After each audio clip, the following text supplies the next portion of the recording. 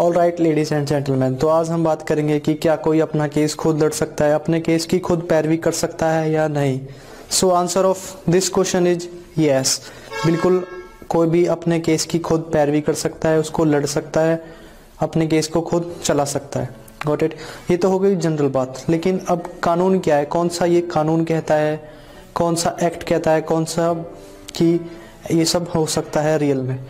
तो constitution of India यानी कि under article 19 sub clause a freedom of speech and expression इस बात की हमें गारंटी देता है। यानी कि हम अपने विचार व्यक्त कर सकते हैं। गॉट इट यानी कि हमें बोलने की आज़ादी है और हमें पूरा राइट है बोलने का, अपने विचार रखने का।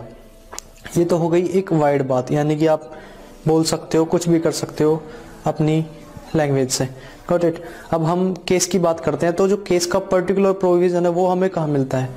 तो according to section 32 of advocate act 1961 ये हमें परमिट करता है. यानी कि परमिट करता है कि आप अपना केस खुद लड़ सकते हो.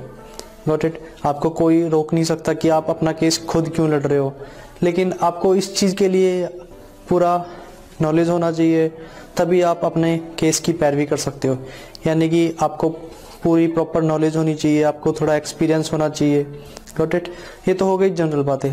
लेकिन क्या हमें अपना केस खुद लड़ना चाहिए? हमें खुद अपने केस की पैरवी करनी चाहिए? हाँ या ना? तो अगर आप सरल शब्दों में समझना चाहें या फिर एक ठंडे दिमाग से सोचें गॉट इट तो आपको अपने केस की पैरवी बिल्कुल भी नहीं करनी चाहिए।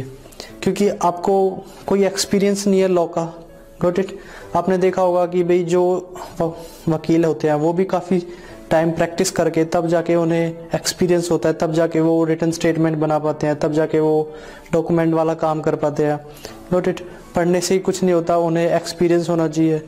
तो आप अपना केस खुद ना लड़ें, ये रिस्क आप ना लें, क्योंकि आपको, आपने देखा होगा फ़िल्मों में होता है पिक्चरों में होता है, खुद लड़ते हैं। तो देखो, वो रियलिटी में इतना सक्सेसफुल नहीं है।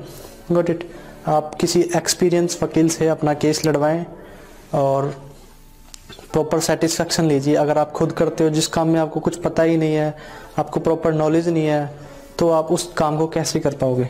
गॉट इट तो थोड़ा सा रिस्क लीजिए, आप एडवोकेट हायर कीजिए और अपना केस लड़िए गॉट इट अगर आप चाहते हो कि फ्री में वकील सपोज़ किसी कंडीशंस में आपके पास पैसे नहीं है या आपकी फाइनेंशियल हालत ठीक नहीं है कि आप एडवोकेट को दे सकें या कुछ कर सकें तो आप उस चीज़ के लिए फ्री में एडवोकेट हायर कर सकते हैं।